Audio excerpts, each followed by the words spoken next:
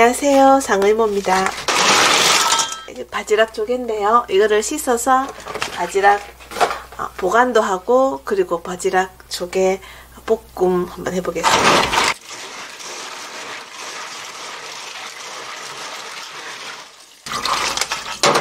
해감을 좀 하는데요. 이렇게 소금을 좀 이렇게 타줍니다. 약간 짭짤할 정도로.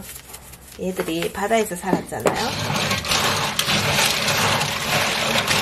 소금을 이렇게 탄 다음에 이걸 어둡게 해두시면 되거든요. 이렇게 검은 봉지 씌워놓겠습니다. 이게 저는 스테인 그릇이니까 그냥 이대로 어, 비닐봉지만 덮어 놓는데요. 만약에 플라스틱 뭐 그릇 같은 데 담가 놓을 때는 스테인레스 수저 젓가락 좀 담가 놓으시면 해감에 도움이 된다고 합니다. 이렇게 담가 놓겠습니다. 아, 그리고 마트에서 봉지에 담겨서 포장된 거는 자체에서 해감을 해서 포장을 했다고 하니까 그 점은 조금 감안해서 쓰시면 될 것 같아요. 지금 어둡게 해놓았을 때는 움직이는데 이걸 이렇게 살짝 드러내면 햇빛이 들어가면 얘들이 또 쏙 들어가요. 그래서 가능하면 이렇게 어둡게 해놓는 게 좋습니다. 자, 이렇게 놨습니다. 안에서 움직이고 있는데요. 치 들어가면 또 쏙쏙 들어가더라고요. 해감은요 가능하면 이렇게 오래 식혀주면 좋고요. 또 더운 여름에는 이렇게 해서 냉장고에 넣어, 넣어두시는 것도 좋습니다.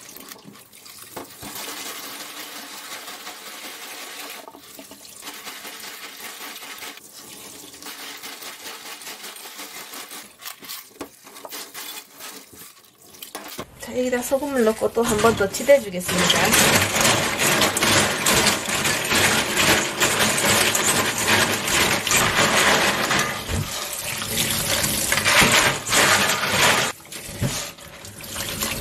깨끗하게 씻어준 다음에요. 이거 금방 요리하실 거 아니면은 이대로 물에 좀 담가서 냉장고에 좀 넣어두시는 게 좋습니다. 이렇게 냉장고에 넣어두는 동안에도 또 이렇게 해감이 되니까 요리할 때까지 이렇게 냉장고에 넣어두겠습니다. 드실 것만 남겨놓고요. 또 남는 거는 이렇게 냉동시켜 놨다가 뭐 국수 끓여 드시든지 뭐 국을 끓여 드시든지 하시면 돼요. 요거는 좀 따로 냉동 좀 시켜 보겠습니다. 기름을 조금 넉넉하게 둘러주겠습니다. 기름은 요 마늘이 어느 정도 있죠. 자글자글 끓을 정도만 부어주면 돼요. 저는 마늘을 지금 한 4알 정도를 좀 굵게 좀 다져줬고요. 마늘이 이제 끓어오르려고 하면은요. 바지락에 그, 그 비린맛 이런 거 없애주는 데는 마늘과 드남고추면 되거든요. 고추 아니면 청양고추 좀 잘게 썰어서 넣어주시면 됩니다. 드남고추 이거 한 봉지 5천원 주고 사놓으면요. 저는 한 2년을 먹는 것 같아요. 이렇게. 저는 고추 몇 개만 이렇게 좀 부셔서 넣겠습니다. 많이 너무 매우니까 저는 3개만 넣고요.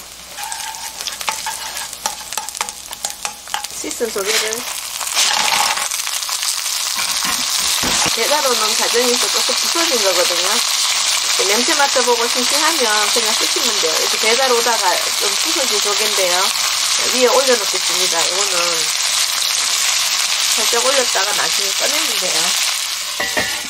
살짝 열을 흔들어주면서 기다리겠습니다. 지금 한 2분 정도 지났는데요. 제가 불을 조금 약불로 낮췄습니다. 입이 지금 벌러지고 있습니다. 자 이제 김이 많이 오르거든요. 이제 다 됐습니다. 이제 지금 한 5분 정도 됐거든요. 불 끄겠습니다. 마지막에 어, 대파나 뭐 쪽파 좀 잘게 썰은 거 있으면 넣어주시고요.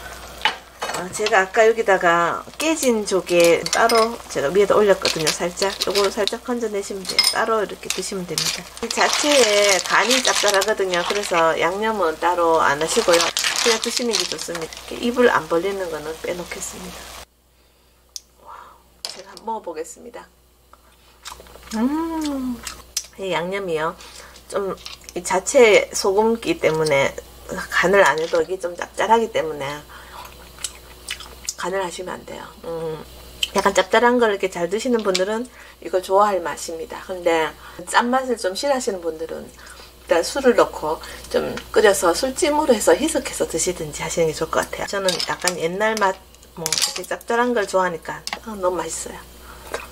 음.